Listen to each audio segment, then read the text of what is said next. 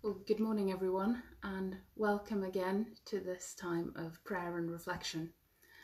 Um, I've been, uh, I've had feedback from several people after last time uh, telling me that the sound is good again um, and they can now hear me. So I hope that's um, that's the case today as well.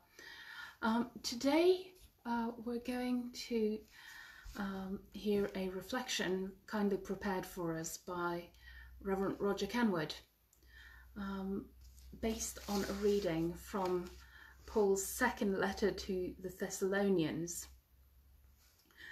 Uh, but before we do that, um, I'd just like to say something about today, because um, um, today the church commemorates Eglantine Jebb, founder of Save the Children and a committed Christian um, who died on this day, on the 17th of December in 1928.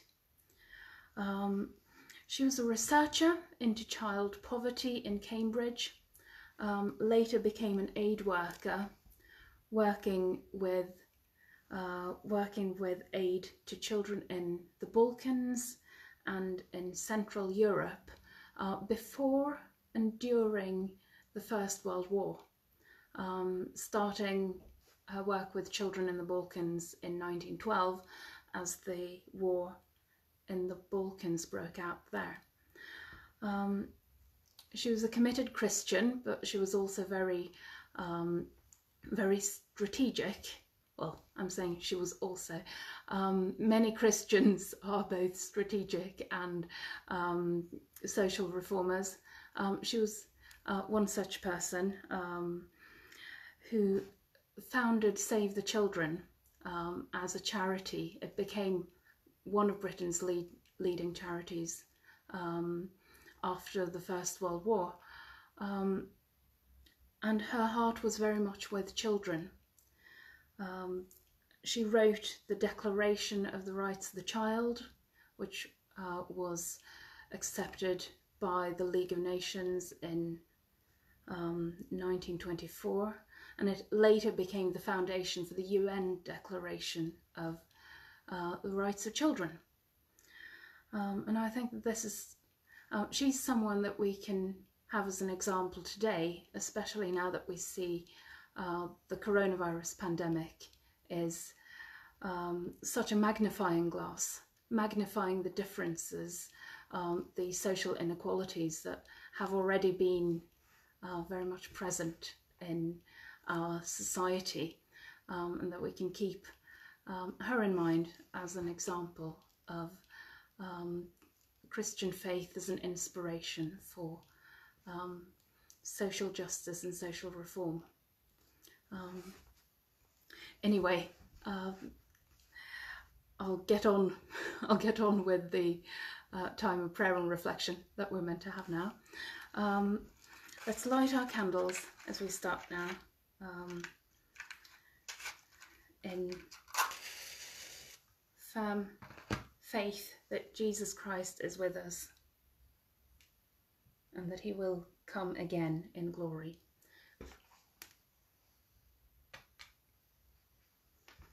God, for whom we wait and watch, you sent John the Baptist to prepare the way of your Son. Give us courage to speak the truth, to hunger for justice, and to suffer for the cause of right, with Jesus Christ our Lord. Amen.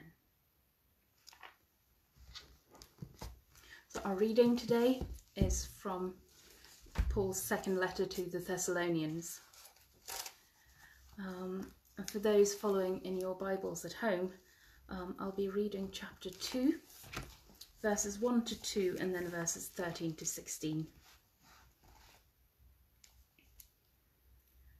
As to the coming of our Lord Jesus Christ and our being gathered together to him, we beg you, brothers and sisters, not to be quickly shaken in mind or alarmed, either by spirit or by word or by letter, as though from us to the effect of the day of the Lord is already here. But we must always give thanks to God for you, brothers and sisters, beloved by the Lord, because God chose you as the first fruits for salvation, through sanctification by the Spirit and through belief in the truth. For this purpose he called you through our proclamation of the good news, so that you may obtain the glory of our Lord Jesus Christ.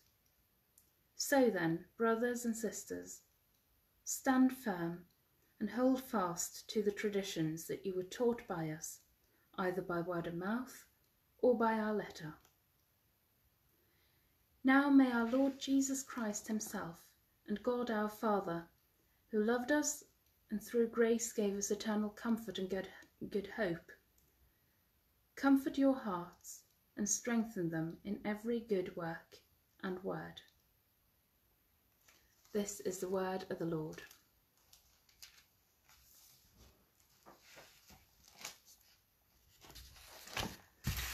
So, a reflection very kindly prepared for us by Roger Kenwood. So, in Roger's words, this is undoubtedly one of the most difficult passages in the whole New Testament, writes a well known biblical commentator on this chapter. So, I felt initially that I would skip it and choose one of the easier readings for today. But we need to face up to life's puzzles. And the second coming, or the day of the Lord, were not only a problem for the early Christians, but still today we are likely to be puzzled by those people who demonstrate in public with placards saying, The end of the world is nigh. Repent and be saved. Especially when the present COVID pandemic makes us wonder whether they might be right. The day of the Lord is a frequent topic in the Old Testament prophecies, with a variety of different interpretations.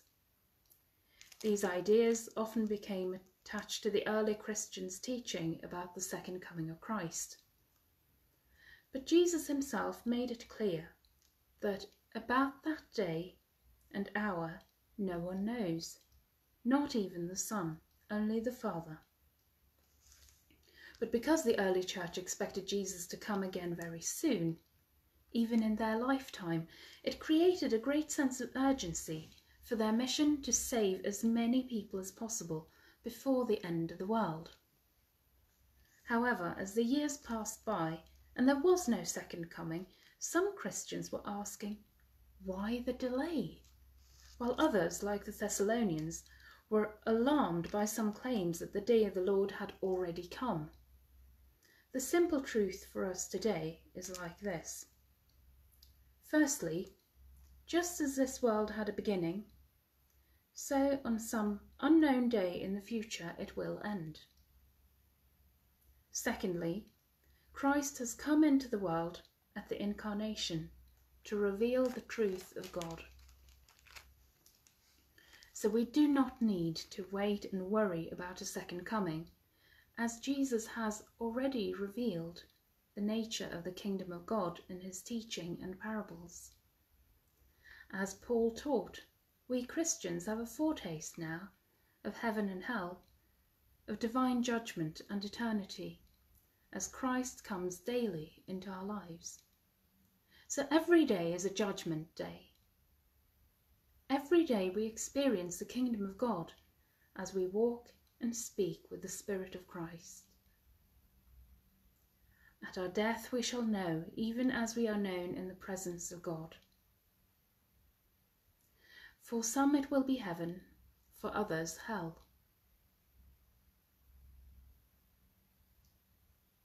In conclusion, quoting from today's reading, verses 13 and 16, we ought always to thank God because from the beginning God chose you to be saved. He called you so that you might share in the glory of our Lord Jesus Christ. And may our Lord Jesus Christ give us eternal encouragement and good hope. Well, a very big thank you to Reverend Roger for his reflection for us today. Um, and as we come now to our time of prayer, I think I forgot to mention initially that after the prayers today, I will be singing hymn number 27, Colours of Day, um, after our prayers today, um, just in case anyone wants to look that up as um, Colours of Day. If you have a red hymn book, it's number 27. But as we come now to a time of prayer, let us lift up before God those known to us who are in need of our prayers at this moment.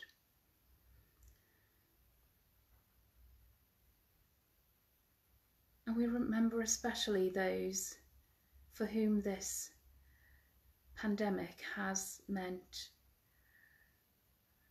threat to their lives or livelihoods. Those who are suffering either through illness or the loss, loss of a loved one or through the consequences of the restrictions that affect us all.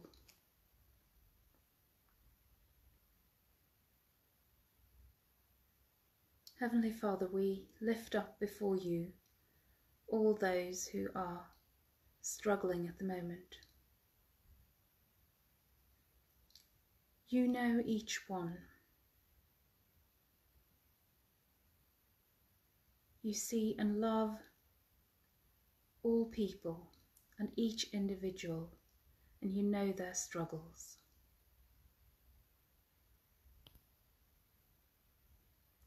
And we pray that they may feel your presence with them, your comfort, your healing and consolation. Lord, in your mercy, hear our prayer.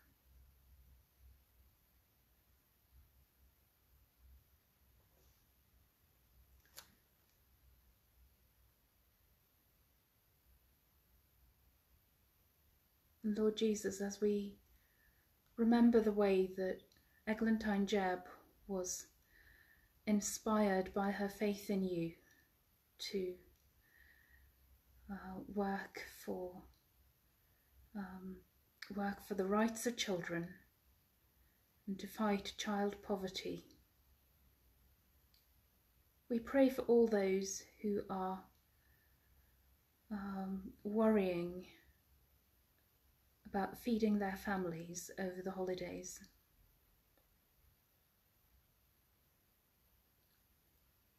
All those who feel an extra burden as they see our society so focused on consumption and celebration when they are unable to take part in that.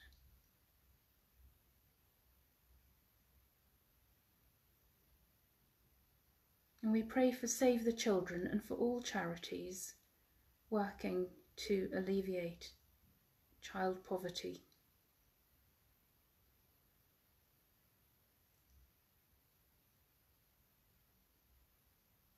And we pray that they may have the resources they need to help those who need it.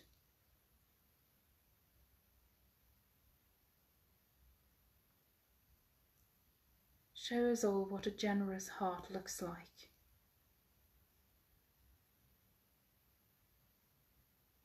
And create generosity in us, even as we are so painfully aware of our own shortcomings when it comes to remembering others. Lord, in your mercy, hear our prayer.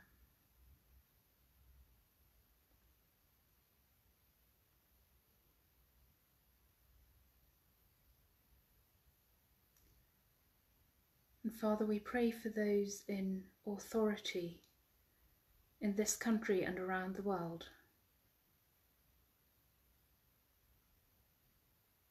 We give thanks for the international collaboration to develop vaccines against this pandemic.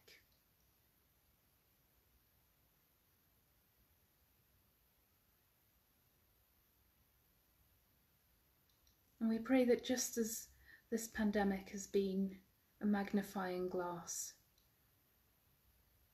magnifying the differences and um, the inequalities that we see, we also pray that it may become a catalyst for more cooperation, more unity, and more openness.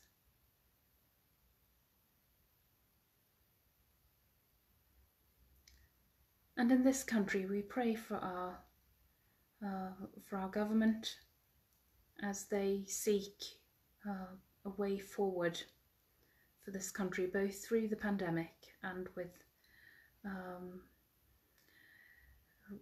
with Brexit negotiations now um, and trade agreements.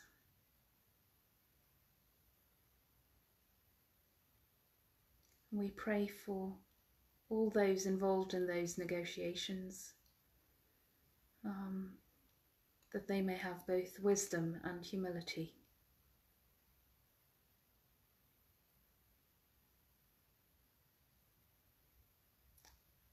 Lord, in your mercy, hear our prayer.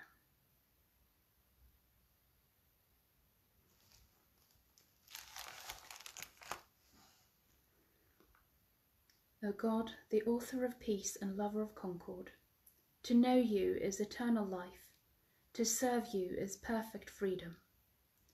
Defend us, your servants, from all assaults of our enemies, that we, surely trusting in your defence, may not fear the power of any adversaries. Through Jesus Christ our Lord. Amen. We gather all these prayers into one as we say together the words that Jesus himself taught us. Our Father, who art in heaven, hallowed be thy name. Thy kingdom come, thy will be done on earth as it is in heaven. And give us this day our daily bread. And forgive us our trespasses, as we forgive those who trespass against us. And lead us not into temptation, but deliver us from evil. For thine is the kingdom, the power, and the glory, for ever and ever. Amen.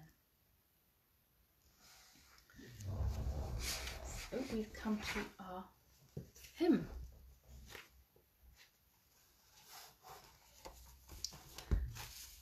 The Colours of Day.